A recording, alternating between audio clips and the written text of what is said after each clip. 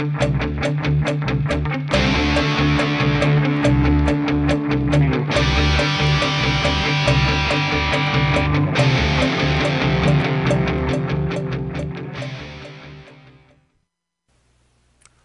to Juniper Network's Educational Services Learning Bytes. The Juniper Wireless LAN topic for this Learning Byte will be an overview of the Ringmaster client interface. My name is Steve Elliot. I'll be your host. Section Objectives. After successfully completing this segment, you will be able to log in to the Ringmaster client interface and navigate the functional areas of the client GUI. Let's now log into Ringmaster using the regular client. We also support a 100% Java-based client as long as you have the right Java runtime environment installed on your machine. You will notice that it's using the loopback address since the client is on the same machine as the server. The installation port is port 448. There's currently no username, no password set up. We can set up the super administrator and user groups for configuration monitoring or for monitoring only. We click on Next. That brings us to the main client interface where we'll continue our tour. Let's now take a look at the Ringmaster client interface. Located in the upper left-hand corner are your drop-down menus. Right below that is what we call the functional area icons where we can do configuration, planning, monitoring, or reporting. Located on the main screen, you will find the organizer panel located here on the left hand side. These are objects related to the functional area that you've selected, in this case policies. And you can see that in the policy we can drill down to a lower level object. It's a hierarchical form that we use for the organizer panel. What you select in the organizer panel will show the main properties for that object in the center, what we call the viewing panel. Now, the viewing panel will display things normally in a table type of format with the ability to drill down to the more advanced attributes for an object through the Properties wizard. Located on the right hand side is what we call the Task panel. The Task panel provides you with advanced wizards that may be grouped by different groupings. In this case here, it's policy changes, create, and setup. Located down at the very bottom is our status bar. This shows things like configuration errors and warnings, local changes and network changes, and alarms. Let's now take a look at the functional areas. Policies allows us to configure once, apply to many. This is a generic controller object and we add in the objects that are commonly configured between a group of controllers. We can set up global policy or model specific and version specific policies. The next functional area is RF planning. RF planning allows us to use the predictive planning license and to then pre-plan out a deployment we can use the advanced visualization to be able to see the coverage area and play what if. Next, let's look at the configuration functional area. Underneath the configuration functional area, you will see in the left-hand organizer that I have my groupings like Sunnyvale is a mobility domain with three controllers in it.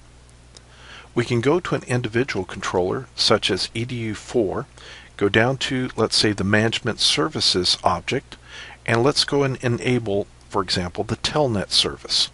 I can then save my change to my network plan, use the right-hand task panel fast deployment wizard to deploy my change down, and I could then go and telnet into my controller. Let's now take a look at verifications. Verification functional area consists of warnings and errors that while we're building the candidate configuration, it will keep track of. In this case here, we have a warning on EDU1 controller. The object is the controller object itself. It is a warning, and it's showing me the message that the enable password is missing.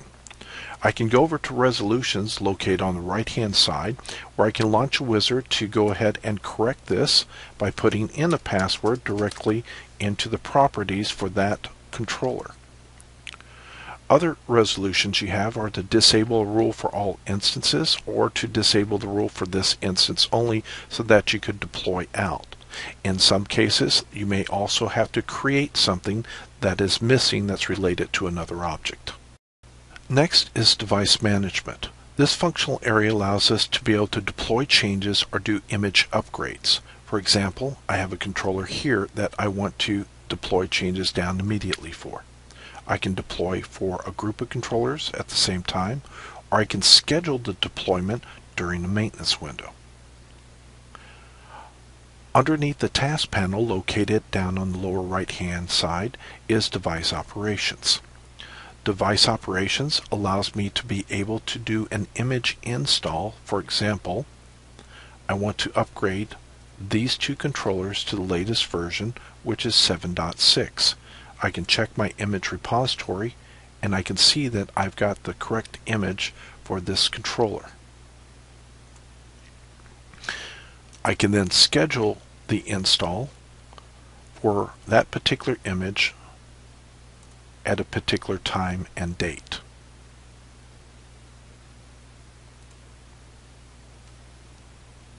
Let's now take a look at the global monitoring functional area.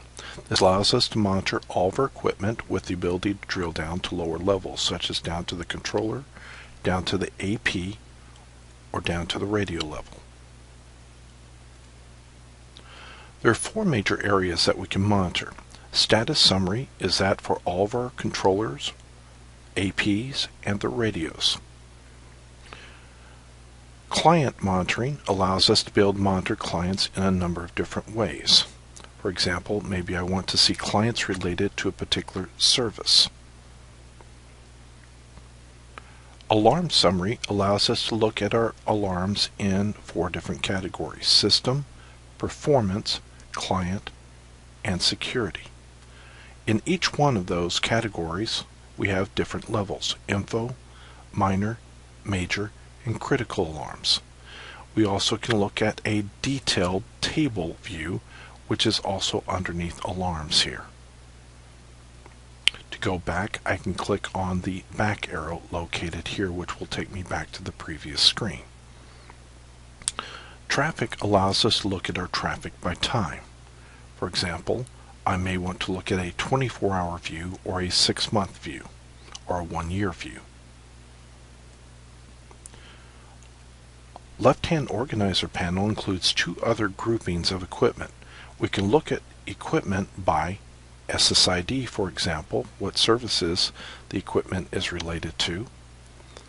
Or I can go down, if I've done planning, and look at my services based on the equipment related to a particular area. The next functional area is client monitoring. Client monitoring is used for advanced troubleshooting and performance tuning.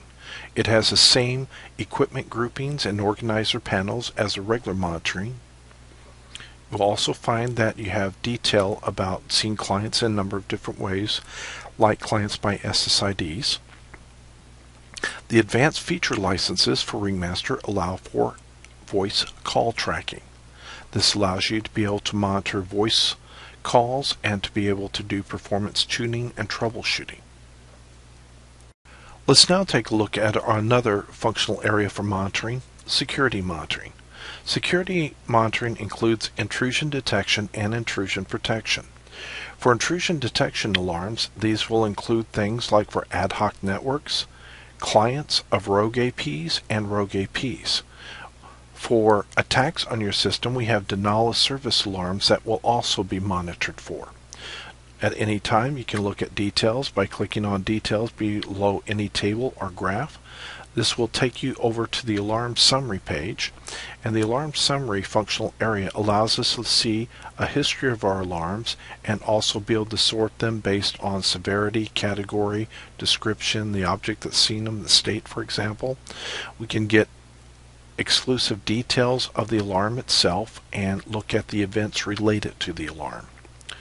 If I select a particular alarm, I can also have advanced things that I can go do. For example, like locate this particular threat out there, and then I can send somebody out to disconnect it from the network, or I can go and enact countermeasures against it. With our fault correlation engine, we also have the alarm summary here so that we can see our alarms at a higher level in graphical format with the ability to drill down to lower levels. We have a high degree of customization within our alarms functional area, which we can set up what alarms we want to see and what classification we want to give them for severity. We can also set up for notification as well as set our database um, maintenance behavior. We can acknowledge alarms, we can delete active alarms, we can also do reports on alarm summary or alarm history. Let's now take a look at the functional area on reports. We give you a whole list of canned reports for different categories. These canned reports also have a degree of customization where you can set up the scope and the period of time that you want it to be generated for. Reports can also be set up to be scheduled to run at a given period of time. For example, this is a self-documenting system, so I want a complete inventory report at this time.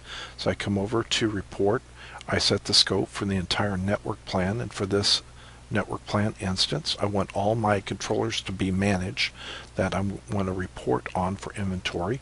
I have different formats for HTML, PDF, or XMLS. We'll just do HTML. I could have it emailed to a particular person, um, and I could copy the report to an FTP server. So now we're generating HTML port. Now from here, I'll go and launch that link and launch the browser. It allows me to come in and I have my canned report now with my complete list of controllers over here and complete list of APs. This concludes the Ringmaster Client overview. Visit the Juniper Education Services website to learn more about courses. View our full range of classroom, online, and e-learning courses. Learning paths, industry segment and technology specific training paths. Juniper Networks Certification Program, the ultimate demonstration of your competence. And the training community, from forums to social media. Join the discussion.